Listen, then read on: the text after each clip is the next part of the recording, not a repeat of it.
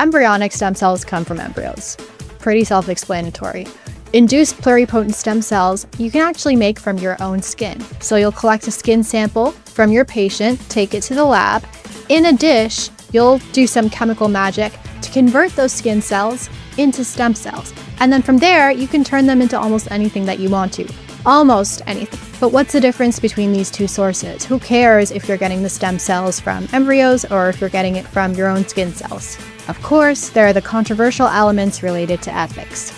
That aside, there's actually a biological argument for one over the other as well. Doctors usually won't use immunosuppressants for a patient who's receiving induced pluripotent stem cells derived from their own bodies. That is a huge advantage over embryonic stem cells. With embryonic stem cells, because it's coming from a donor source, so it's not coming from your own body, it's coming from somebody else, that means you need to take immunosuppressants. Otherwise, your body could reject the cells altogether. Your immune system could start attacking the cells, and that could cause a lot of serious health problems for you as the patient. But then, even when you do take immunosuppressants, there are risks associated with those drugs. Now you're a lot more susceptible to infections. I was just reading about a case report of a patient dying in a clinical trial, not because of the stem cell therapy that they were receiving, but because of the immunosuppressants that they were taking patient ended up getting an infection and unfortunately they passed away. That's not to say that all immunosuppressants are bad. Plenty of people take them without any issues. I'm just saying that there are risks associated with the use of immunosuppressants. And if you can get around it, that'd be ideal.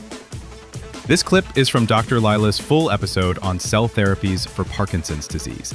Head over to the channel and check it out now, then subscribe to stay up to date on all things health science.